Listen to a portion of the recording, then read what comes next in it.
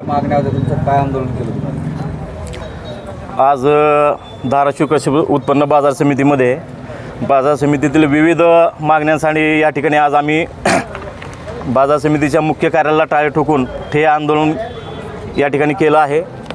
हे आंदोलन करण्याचं मुख्य हेतू म्हणजे या धाराशिव कृषी उत्पन्न बाजार समितीची स्थापना ही एकोणीसशे एकोणसाठची आहे.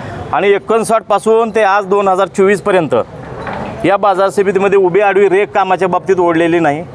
डॉक्टर पद्मसिंह पाटलापासून ते त्यांचे चिरंजीव राणा ज जगजितसिंह पाटील यांच्यापर्यंत आज दा आज देखील बाजार समिती त्यांच्या ताब्यात आहे.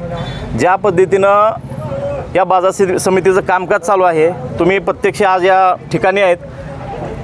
तुम्ही स्वतः फिरून बघू शकता या ठिकाणी कुठल्याही प्रकारचा कंपाऊंड वॉल बाजार समितीला नाही.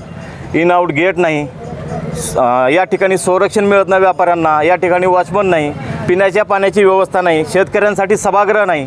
या ठिकाणी येणाऱ्या व्यापारी आणि शेतकऱ्यांसाठी स्वच्छतागृह नाही राहायला त्यांचं न निवारा नाही शेतकरी सभागृह जे असतं ते.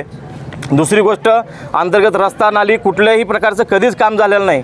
जनावराचा बाजार बघा हे शेडचा एक पत्रा त्या ठिकाणी शिल्लक नाही किंवा जनावर बांधायला एक खुटं त्या जागेवर नाही. आणि हा बाजार जवळपास चार ठिकाणी विखरून गेला जवळपास पाटोद्याला मुरुडला आणि मला वाटतं बार्शी या ठिकाणी हा बाजार गेला. तीच अवस्था भुसार मालाची झाली. तालुक्यात एकशे वीस गाव आहेत. चार गावच्या शिवाराचा माल देखील बाजार समितीत येत नाही. व्यापार कसा चालणार? आणि इथं व्यापारी नवीन व्यापारी तर आलाच नाही. मला या ठिकाणी स्वर्गीय विलासराव साहेबांचं सांगावं असं वाटतं.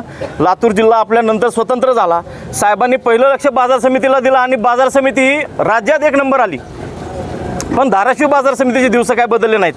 हे सगळं कुणाचं जोतं काय मला या ठिकाणी एवढं सांगायचं आहे की आपण राणादादाला मला सांगायचं आहे हजारो कोटीचे निधी आले म्हणून तुम्ही सांगता.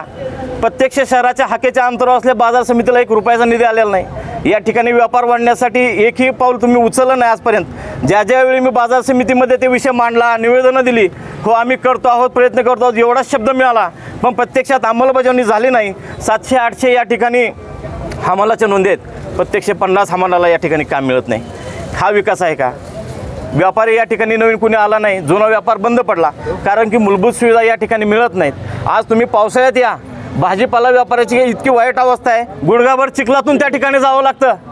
महिला भगिनी येतात. कुठं जायचं स्वच्छालयाला अनेक ज्वलंत विषय आहेत. पण हे लोक कानाडोळा करतात. या मागणीसाठी आम्ही आज हे आंदोलन छेडलं होतं. दुसरा विषय आहे या ठिकाणी गोडाऊन. एकोणीसशे सत्याऐंशीचे ॲग्रीमेंट असलेले गोडाऊन आहेत जे की पाच रुपयाच्या बॉन्डवर आहेत. बऱ्याचशा गोडाऊनच्या मुदत संपल्या. खरेदी विक्री संघाच्या गोडाऊनची मुदत संपली. पण या लोकांनी त्याच्यावरची कुठल्या प्रकारची अंमलबजावणी केली आणि नाममात्र भाडं जे एकोणीसशे सत्त्याऐंशीला भाडं होतं तेच आजही चालू आहे. तीनशे पाचशे रुपये भाडं घेतलं जातं वार्षिक. जगात तर हे भाडं कुठं आहे का राज्यामध्ये? मला एवढंच सांगायचं आहे शेतकऱ्यांचा आणि व्यापाऱ्यांचा खराच विकास साधायचा असेल तर जे सत्ताधारी आहेत त्यांनी यामध्ये जातीनं लक्ष घालावं आणि निधी देऊन परत बाजाराचं पुनर्जीवन करावं. आणि याच्यामुळे खऱ्या अर्थानं जो व्यापारी आहे जो मोलमजुरी करून खाणारा माणूस आहे आणि या तालुक्यातला शेतकरी आहे तो कुठेतरी सदन होताना दिसेल. मला अजून एक महत्त्वाची गोष्ट या ठिकाणी सांगावी लागते. भाजीपाल्याचे मार्केट आपलं एक नंबरच आहे.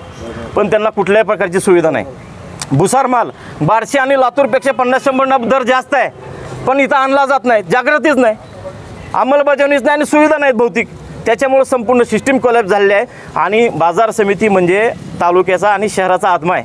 शेतकऱ्यांचा आत्मा आहे. ती सुधारली पाहिजे. बाजारपेठ सुधारली तर सगळी सिस्टीम सुधारते. एवढंच मला या ठिकाणी सांगायचं वाटतं.